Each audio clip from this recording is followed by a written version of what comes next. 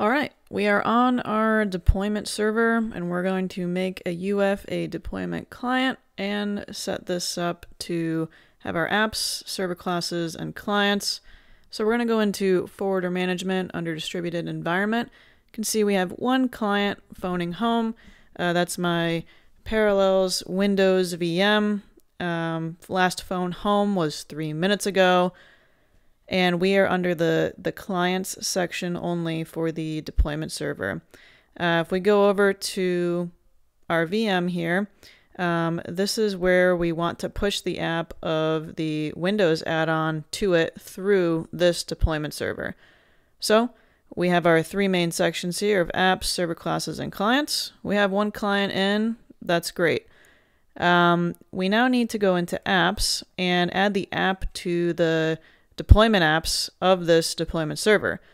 So if we take a quick look at the Splunk documentation here um, for creating deployment apps, it basically tells you that you need to put the app um, in the directory that um, you're going to push it through. And then once you push it to that instance, um, it's going to live in Etsy apps. And, you know, you can push as many apps as you'd like from the deployment server out and then you must run from the CLI the Splunk reload deploy server command um, so that the deployment server is made aware of the new apps that you're putting into this deployment apps folder. So on our deployment server file navigation system, if we go into Etsy apps, um, you're not going to find the deployment apps in there. So remember, it's Etsy and then just deployment apps instead of Etsy apps, which we're very used to. So in Etsy deployment apps, you can see it's empty. There's no apps currently in there. So we need to add our app to it. I've downloaded from Splunkbase the add-on for Windows. And if we grab it from our downloads folder on my local instance, uh, my Mac Mini, I'm just going to copy the zipped up uh, application and then we'll go back to Splunk Etsy deployment apps. And I'm just going to paste it in here and then double click to extract it. And we now have the uh, Windows TA inside our Etsy deployment apps on our deployment server. So that is good to go. We have added an app. Now, um, in order to get the deployment server to be aware that we added an app to it in this folder, this is where we need to now run the command um, to make it aware of the changes that we have made. So we're going to run the Splunk reload deploy server. We can go ahead and copy this and then run it on our deployment server's uh, CLI. Um, going to be in Splunk home and then bin and we'll run this command.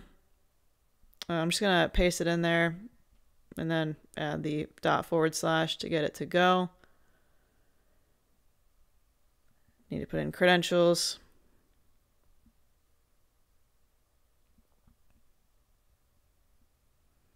And it is reloading my server classes. Perfect.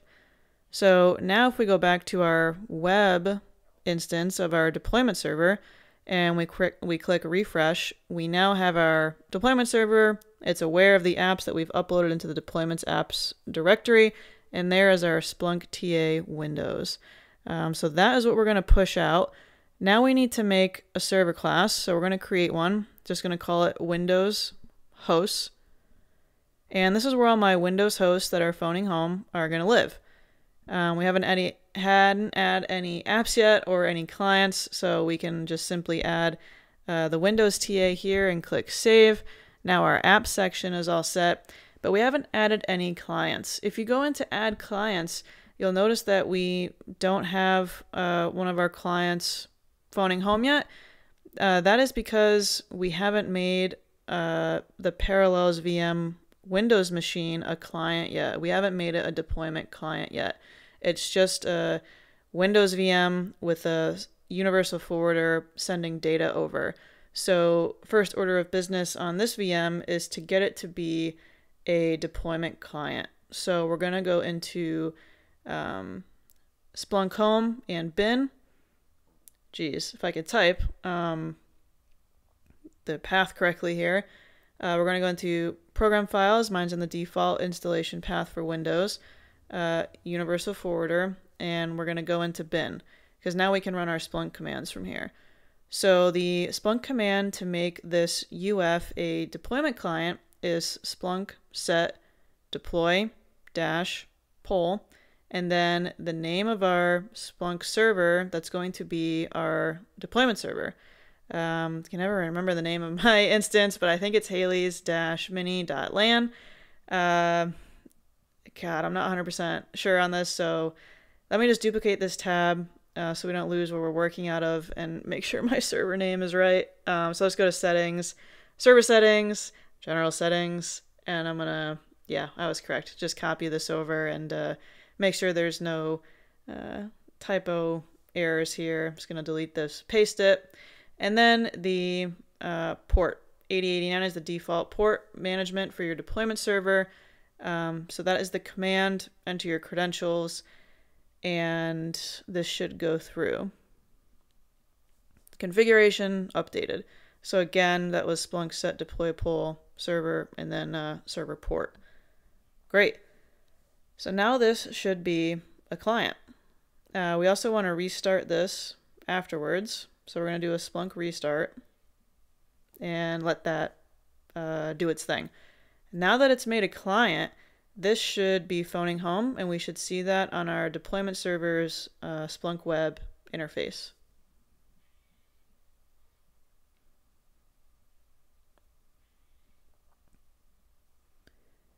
Uh, we also want to go into this path here, and we don't see the app push to it yet, and that is because we haven't added it to our class yet. Um, remember, we only had the app in there, but we don't have any clients in the server class of Windows hosts. So we can now go ahead and make a client. You can see here that the VM is now populated since we made it a client. Um, we can filter on the host name. It's just one here. Paste it in, click preview, and if you'll notice on the bottom left, it'll show a check mark for matched. So if we include that parameter, that's the client that's going to be added. Now we have an app and a client within our server class. And the next time it phones home, it's going to deploy the Windows TA to it, um, as that's what's part of our server class. So very easy here, but just remember the three big parts here to a deployment server is apps, server class, clients. Um, we can see that it's getting pushed out now. And if we go back to the VM, uh, it should populate here. Uh, clicking refresh, we don't have it yet.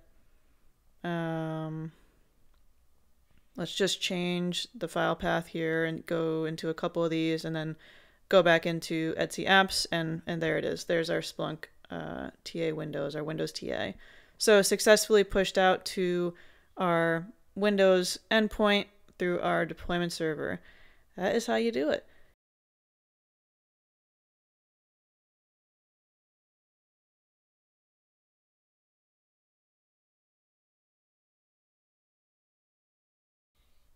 Review of some commands that you can also do is Splunk show deploy poll um, just to see what's currently configured.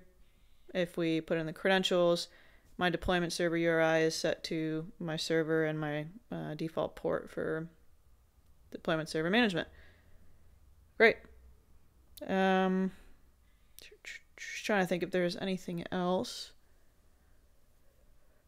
Um, Yes, actually, you do want to make sure that um, in your apps, uh, you want to go into edit for any apps that you um, put on your deployment server and check this right here, the restart Splunk D. When it pushes it out, it'll give it a restart. Um, we did it through the CLI.